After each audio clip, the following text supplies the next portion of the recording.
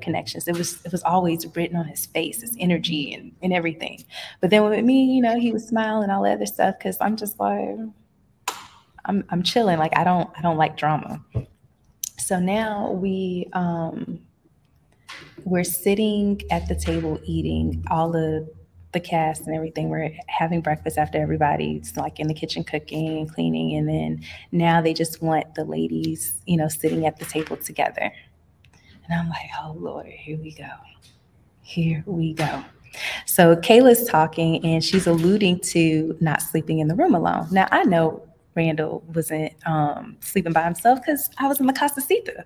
But I'm observing this. I'm observing his behavior because just because you like me and you know we're a connection, I still have to see how you're acting when we're you know under the same roof. So just because you know I'm more favorable to you doesn't mean that it's reciprocal. Um, mm. You know, I'm going to see how how you're handling me. Like, you know, I get to see how you act. Like, are you going to knock on my door and say, "Hey, Tranika, good morning"? Something. I don't know. so, anyways, he did not sleep in the room alone.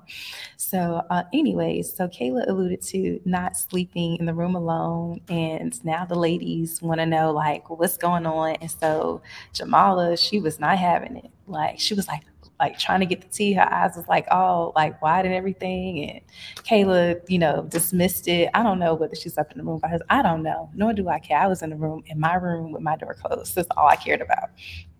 So, anyways, um, then Kayla takes her phone and wants us to do like a TikTok video. So she's showing us something on the TikTok video uh, that she wanted us to, you know, some dance that she wanted us to do.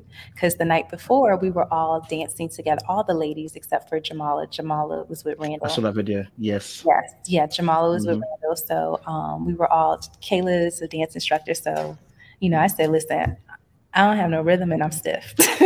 and then the other ladies like, I'm